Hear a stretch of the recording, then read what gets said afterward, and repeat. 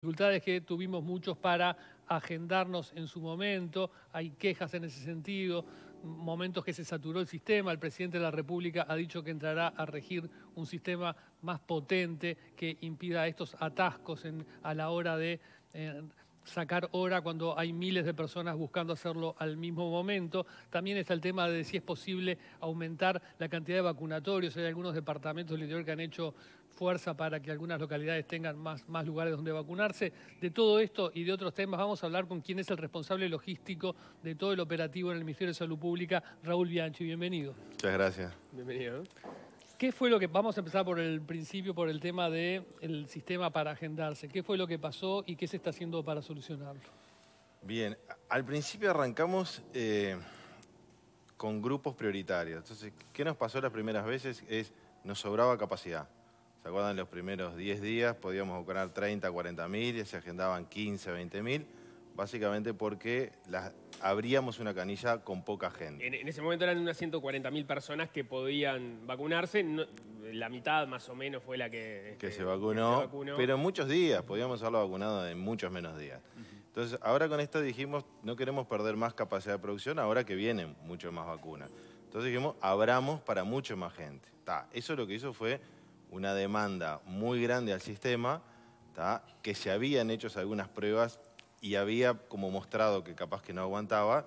Y bueno, fue lo que pasó ahora. No aguantó. Se protege el sistema, o sea, ingresan 15, 20 mil personas juntas, hacen clic al mismo tiempo, entonces el sistema se protege y dice no dejo pasar. Entonces, ¿qué se está trabajando? Ayer se hicieron unas cosas que se destrabó mucho. Ayer se estuvieron agendando por WhatsApp 5 mil, 10 mil personas por hora. De hecho, todos estos días, jueves, viernes y sábado, y toda la semana que viene en Montevideo los cupos están agotados. Por esa mejora que se hizo. Igual se está trabajando en un sistema mejor que lo que va a permitir es que es como una sala de espera. Vos entrás, te aguanta toda la gente, pero te pone como una sala de espera, te toma el mensaje y te va a devolver una propuesta de horario. Eso es lo que se está trabajando, que anunció el presidente, y se está trabajando para que pueda estar próximamente. Voy, voy un pasito para atrás, un pasito para atrás. Algunos países no han, no han implementado un sistema de agenda. Abren los vacunatorios y la gente que quiere ir a vacunarse va y bueno, hace cola, pero eh, como son muchos vacunatorios, como hay muchas opciones, si de repente si hay mucha cola puede volver en otro momento, en fin. ¿Por qué Uruguay optó por este sistema de agendar que tiene virtudes, porque uno queda con una hora, va y se vacuna, es evidente, pero tiene también estos problemas. ¿no? En el otro sistema uno puede ver un vacunatorio que está lleno, puede ir a otro, puede volver en unas horas. Son sistemas distintos. ¿Por qué elegimos eso? Hay un tema importante que es la priorización. O sea, eh, nosotros que hicimos, la parte epidemiológica decidió es, hay ciertos grupos que a la sociedad le conviene que estén protegidos primero porque mantienen la salud, porque mantienen la educación. Esa es una de las razones. Pero se pudo hacer también abierto así por grupo también, sin agenda. El, el tema es que para que el flujo sea bastante alto y uno pueda controlar ese flujo, el regular la demanda te permite esa ventaja. O sea, si uno puede regular la demanda, te permite sacarle la máxima capacidad al sistema. Y te permite lo otro, que es no, que, que no se aglomere gente. A ver, que en una situación de pandemia, eso, tener filas de 500 personas no está bueno. Em, creo que algo, algo lo, mencionaste, pero ¿qué está pasando en este momento con las personas que se, están que se quieren agendar, por ejemplo, en Montevideo, donde no hay cupo ya para la semana que viene? Bien, eh, eso está bueno. Viste que al principio tuvimos llegadas muy intermitentes de vacuna. 190.000 de Sinovac, 50 la semana pasada, 50 este miércoles. E, en, ese, en ese sistema que te llegan poquitas, es muy difícil darle continuidad al flujo. Vieron que la semana pasada tuvimos que parar un día, sacar todo Sinovac del circuito, dar como loco Pfizer, que lo dimos en dos días, volver a Sinovac. Entonces, ahora que llegó un millón y medio y que Pfizer va a estar empezando a entregar 50, 60, después 90, ayer estuvimos trabajando todo el día en establecer en el país un circuito para Pfizer y un circuito para Sinovac, de manera de poder darle continuidad. O sea, decir, en todos estos vacunatorios del país, todos los días estamos con Pfizer y llegamos a todo el país, y en todos estos estamos con Sinovac. Ayer estuvimos 10 horas trabajando en este tema porque hay departamento por departamento. Estuvimos con la doctora Karina Rando, que es la que está encargada del interior, con el laboratorio Calmete, con el subsecretario, estuvo el ministro de partes también, eh, ingenieros que nos ayudan. Y hoy estamos terminando eso para que se pueda subir a la agenda ya la semana que viene con Pfizer y Sinovac y a partir de ahí podamos darle un poco más de, proyección, un poquito más, no estar, no estar abriendo dos, tres días, tres, cuatro días. Pero, o sea, quiere decir que la semana, a partir de la semana que viene, todo el que se quiera anotar, aunque le quede muy para adelante, va a encontrar un lugar en la agenda. Vamos, vamos a hacer eso, sí, es la idea hacer eso, empezar un poquito más, tener un poco más de proyección. Que hasta ahora, por el tema de las pocas cantidades y los cambios continuos, es muy difícil, porque eh, arrancamos con Pfizer, salud, pensábamos que lo agotábamos el lunes. Nos sobraron 10.000, 14.000 vacunas de Pfizer. Dijimos el domingo, che, vamos a los residenciales. Entonces, si uno tiene la agenda muy, o sea, muy llena hacia adelante, ese tipo de reacciones y cambios no las puedo hacer de un día para otro, que fue la que quisimos hacer otros días. Salimos el martes a los LPM, estamos hoy, fuimos a la frontera, decisiones de un Pero día ahora para la, la cantidad de vacunas Sinovac que tenemos, que son muchas dosis, ¿no permitirían hacer eso? ¿Hacer qué? Tener una agenda más amplia. Eh, justamente. Ahora que llegó esto y que Pfizer le buscamos la vuelta para darle continuidad, ahora estamos viendo por lo menos tener 10 días para adelante visibles. Hoy, hoy en unas horas va a haber, se va a iniciar el registro de las personas mayores de 80 años. ¿No? En unas cuantas horas. Sí, Hoy de noche. Sí, hoy de noche, por eso, en unas horas. Este, eh, ya va a tener estas mejoras. Te porque todo lo queremos ya. No, no, no, yo sé que hoy a las 8 de la noche. Claro, sino en, este momento ya está eh, molestando al bot de WhatsApp que ha trabajado mucho. Bueno, dijimos en unas horas. Este, esta, esta gente, que aparte es un grupo de riesgo que está muy, muy este, sensibilizado con toda lógica y con mucha expectativa de recibir la vacuna, va a tener estas mejoras en el sistema de que no se atasque, no, haya problemas? Ya ayer el WhatsApp anda volando. ¿Qué pasó ayer? Se sacaron los servicios de la web, porque la web aguantaba pocas entradas y cuando hay muchas te empieza a consumir servicios que te sacan velocidad al WhatsApp. Entonces, ayer ya el WhatsApp se liberó un montón.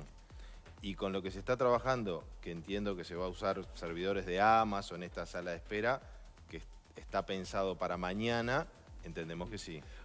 O, sea, el, WhatsApp ahora no debería dar problemas, o bueno, en un momento de mucha demanda. En un momento de mucha, mucha demanda, sí, pero está dejando agendar 5.000, 10.000 personas por hora. Ahí está. A mí, a mí lo que me, ocurrió, y, me consta que a, muchas personas también, era haber ingresado de madrugada. Quería este, anotar a un, familiar. A las 2 de la mañana este, estaba entiendo yo que saturado porque no, me ni siquiera me respondía el bot. Y a las 5 de la mañana también estaba saturado. Y ahí uno entiende que no son las 16.000 personas a las que se refirió el presidente en simultáneo. Ahí seguramente la demanda era, era mucho menor. ¿Ahí qué es lo que ocurre? ¿También es, saturación por la demanda o es que se cae el sistema? No, es por demanda. Es por demanda, me, confirmaron. Mira, ayer de noche me mandaba eh, el ingeniero Javier y mi cure de Accesa justamente contando esto y me, y me daba los horarios en que estaba agendando esa cantidad de gente por WhatsApp y y era de madrugada. De madrugada también había una demanda importante. Sí, sí, ¿Cuál es la frase inicial para el diálogo en WhatsApp con el bot? ¿Cómo, ¿Cómo inicia uno el sistema? Porque no, no lo encontré ese dato. No, eh, con cualquier, con cualquier cosa, con un hola. Hola, ¿cómo te va? Cualquier cosa. Sí, sí, podés ser muy creativo. Después de que escribiste 30 veces y, fuiste fracasando, te puedes poner muy creativo, podés mandar Yuhu, ¿cómo te va? Yo lo intenté para, un familiar, lo intenté con un hola, pero como estaba saturado no sabía si era la manera correcta. Eh, el, nivel de, eh, agenda que hay en este momento, porque el presidente dijo que faltaban brazos, ¿no? Y, uno imagina que se refería a lo que pasó con los grupos prioritarios originalmente, pero también a lo que estaba ocurriendo en algunos departamentos. Creo que, por ejemplo, el caso de Rivera era uno de ellos, donde la gente, así como en Montevideo, Canelones, la agenda se saturó para los primeros días. En, Rivera no estaba ocurriendo eso y me imagino que en otros departamentos no. Mira, ¿Tienen esos datos? Justo me estaba fijando en Rivera. y en Rivera pasa a ver, por un lado es el departamento que más porcentaje de vacunados tiene cada 100. ¿Sí? O sea, yo estaba justo viendo el tema de vacunas y Rivera tiene un 10% de vacunados cada 100 habitantes. Y ese que más tiene de Uruguay. ¿El que menos tiene cuál es? El que menos tiene... Canelones. Y las dos, a ver, Canelones tiene una explicación que tenemos que abrir más puestos. Ya estamos en eso, esta semana se están abriendo y para la que, y para la que viene también. No es falta de brazos en Canelones. En Canelones es... Falta de vacunatorios. Hay pocos puestos, estamos abriendo muchos más. Canelones están agotados los cupos, ¿sí? pero ya se está trabajando, ya para la semana que viene van a estar. Por lo menos hay tres o cuatro que se están abriendo. En Rivera hay un alto porcentaje cada 100 habitantes, pero también hay mucha capacidad. A ver, yo diría, está bueno que, hay, que es el que más tiene, pero por la situación que tienen, Necesita más todavía. úsenla más la capacidad. O sea, si hay 4.000 por día, usemos 4.000 por día. Claro, le pusieron la máxima capacidad pensando en eso, digamos. Pensando que, ahí necesitamos generar la barrera. No sé si fue tan pensado. Ah, hay cosas que pasan por casualidad, ah, incluso buenas. Pero de esos 4.000 por día, este, ¿en qué nivel se está utilizando? Y, hay días que hay 80% de capacidad disponible. 80% de ¿Disponible? Sí. 80% de capacidad disponible, o sea, no, no 20% libre, 80% libre. Eh, eh, o sea, aunque tuvieran mucho menos puestos, igual tendrían espacio, ¿Y tenés una explicación o un... no, no, es tu eh, especialidad, ¿no? Que es la logística. Se, ha, hablado con, se ha hablado con el intendente, se está reforzando. no, no sé. ¿Y hay algún otro departamento que esté en una situación similar en cuanto a que hay mucha agenda libre? déjame echar. Agenda libre, por ejemplo, para colores acá. No, después hay algunos, yo qué sé, en Artigas hay un poco de. También otro de, los departamentos complicados, ¿no? Está, pero después tenés la gran mayoría, un poco, un poco Cerro Largo, 33 Rocha, Soriano, ahí hay un poco, y en el resto está, está casi todo agotado ¿Cuándo hay una, una, gran preocupación en la gente que tiene entre 71 y 79 años, que han quedado afuera de todo lo que hasta ahora se ha abierto o prometido abrir con fecha? ¿Cuándo podrían vacunarse? Bueno, después de la franja de 80 van a venir ellos. Yo creo que ahí vamos a tratar de ser lo más rápido posible, ni bien veamos que la demanda está empezando a caer, que nos están empezando cupos de 80, ahí vamos a, bajar la edad. Esa es una. La otra que puede llegar a ocurrir con esto que Sinovac se extienda un poco más el, eh, los años. Hay países que Sinovac lo están dando para... Bueno, el presidente habló ayer de ese tema, planteó su, su, interés. Me consta a mí, porque hemos hablado y también lo ha hablado Nico con sus fuentes, que hay posiciones distintas. ¿no? La comisión ad hoc del Ministerio de Salud Pública se mantiene por ahora firme con que es hasta 70. El gobierno tiene interés de que sea más. Sí, pero en ese tema digamos que la, que la comisión es la que asesora y, la que decide quién se puede dar la vacuna. Por eso, entonces esa segunda opción que, tú planteaste recién no sería por ahora la que estaría... Lo que pasa es que cada día se dan millones de vacunas de Sinovac en el mundo a mayores de 70 años. Entonces eso genera evidencia para los laboratorios y es nueva evidencia para que lo analicen acá. Es decir, la, comisión se le pide que esté siguiendo todo ese proceso. Ellos están siguiendo todo el tiempo lo que está pasando con, las vacunas que estamos dando en el mundo. Vamos a suponer que Está bien, eso, es cierto. Y hay países muy notorios como Chile, como Brasil, que están dando eh, y que tienen instituciones serias, este, también como tiene Uruguay. Pero vamos a suponer que la Sinovac, ese proceso no, no, no se eleva todavía la edad. Con la Pfizer, si solo siguiera con la Pfizer, ¿cuándo se vacunaría más o menos esa gente de esa franja de 71 a 79. Y, y, estás hablando de que por arriba de los 80 hay unas 140.000 personas, creo que calculamos. ¿sí? Y están ahora un grupo que se abre también el lunes que son eh, de salud, que creo que son alrededor de unas 70.000, son 200.000. Ponele que al ritmo que venga se, se vacunen unas 120.000. ¿sí? Estamos hablando de dos entregas de Pfizer, que sería la tercera y la cuarta Después hay que empezar a dar las segundas dosis. Ahí nos empieza a quedar un poquito porque vienen 66, no 50. Yo calculo que unas cuatro semanas podemos empezar con ese grupo si no se extiende, Sinovac, y si hay una alta adhesión del grupo este que está ahora de 80 y salud. Exacto. Así que ese sería como el peor escenario, cuatro semanas. Sí. Em, el presidente anunció en la, conferencia de prensa que dio esta semana, a propósito de que en, turismo se va a abrir la agenda para el resto de la población, o sea, quienes no estaban comprendidos hasta ahora, entre 18 y 50 años. Ahí cuál fue em, la lectura de, la situación, pensando en que de repente, y de repente no, si todos los que están entre el grupo de los 50 y 70 se quieren vacunar, a turismo no llegás con este, toda esa población vacunada antes de darle prioridad al siguiente grupo. ¿Cómo, mm, ¿Cuál fue el razonamiento en ese caso? Ojo, ojo que ahí eso es con Sinovac y el razonamiento que yo te hice Sí, recién sí, fue sí, con Pfizer. claro. O sea Sí, que sí, los de 18 a 50 no, no le quitan tiempo a los de mayores de 70. No, estaba pensando entre los 50 y 70. Está.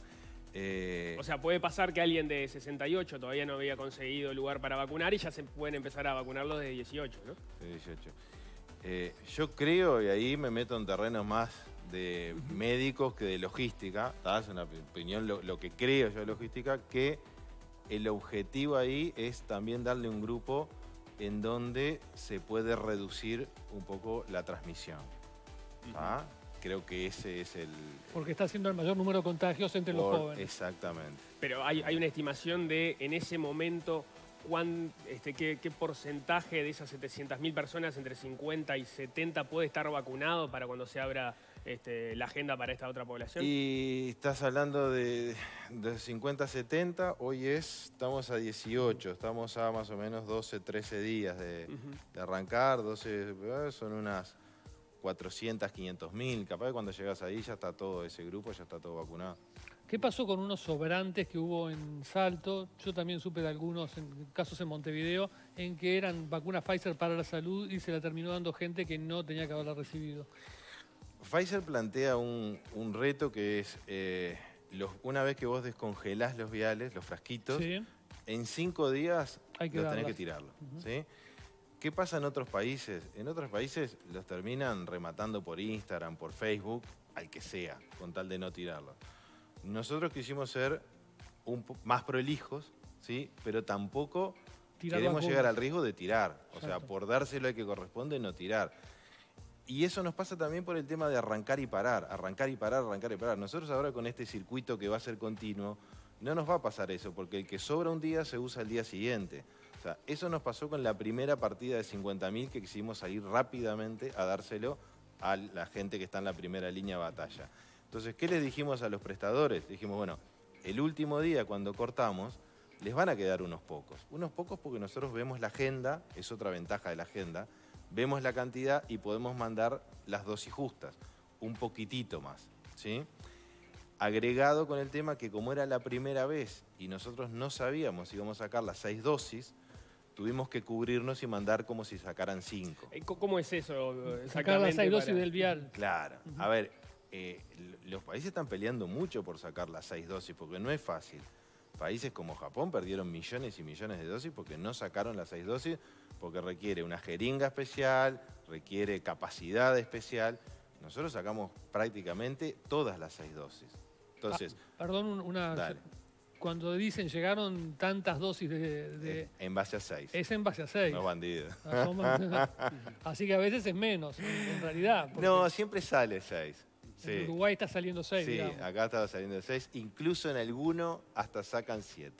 Alguno cada tanto porque se ve que viene un poquitito más en el frasco y se sacan Pero 7. lo que estamos hablando es un frasquito que vos decías una jeringa especial, se pone Se la. diluye, se pone un poco, se- 1.8 de suero y ahí se saca de, eh, de 0.3. Se supone que cuando llenás la jeringa, eh, te- ese, ese procedimiento te va a bancar seis veces, pero es un procedimiento manual en definitiva. Manual, y acordate que la jeringa vos la sacás, queda un poco de aire, tenés que, si te pasaste un poco, o sea. Pero entonces sacar seis y sacar cinco depende un poquito también del, o sea, no solo del Sí. instrumento, sino también de la, del Sí, expertise. acá hay una gran maneja. capacidad de, de la comisión honoraria, de sus vacunadores y de la gente que capacita, que es, que es fantástico. O sea, el nivel de capacitación y trabajo que hacen es muy bueno, realmente es muy bueno. Entonces te, te termino con Sí, ese porque tema. yo te corté. Nos quedaba que mandamos para 5 en vez de para 6 y salieron 6, o sea, nos quedó un 15, 16% más y un poquitito más. Entonces lo que le dijimos es el último día, traten de dárselo al personal de la salud prioritaria, después a mayores, pero llegado el momento, si te queda, no lo tiren, désenlo al que puedan. Al que ¿ah? esté ahí, al que un- pase. Es un uruguayo que lo, lo- lo necesita. Ajá. Y lo que estuvimos viendo es que, a ver, eh, en Salto, por ejemplo, yo hablé con Rosa, hubo 100 personas que se vacunaron y fueron cuatro que no fueron de la salud. Ah, Yo le decía a Rosa, está bárbaro, digo, no Pero, podemos eh, hacer. Es decir, llegado, no estuvo mal entonces, se hizo, hicieron lo que, lo que, lo que mí les estuvo pidieron. bien, para mí estuvo bien. Llegado el último momento, al que esté por ahí, al que se enteró, al que... Es así. sí. El, ministro Daniel Salinas dio a conocer hace unos días cómo venía la vacunación en, en los diferentes grupos prioritarios, los, los policías, los bomberos, este, los docentes, también de cómo venía en, en la población que se había abierto de 65, 70 o 60-65, ahora no recuerdo bien cuál fue el grupo que se abrió, en el que entró Leo. Y... mm, 55 a 55, 59. 59. No, no me 55, mate. 59, No está. Y, mm, pero no dijo cuándo, cómo venía la vacunación en el personal de la salud, que era otro de los grupos prioritarios. ¿Cómo, cómo viene ese dato? Y del grupo, del primer grupo, ah, no tengo acá, no quiero decir, anduvo por un 60 y algo por ciento, 60 y... O sea, e- ese nivel de vacunación que se cuestionó a los docentes, por ejemplo, es muy similar al del personal de la salud. A ver, 69,5%. Ah, más cerca de- del, del nivel que, por ejemplo, este, Ministerio de. Defensa 71, Educación 61. Está, bien, ¿eh? bien, perfecto. No era lo que se esperaba. De la salud No, en general, Ah. digo.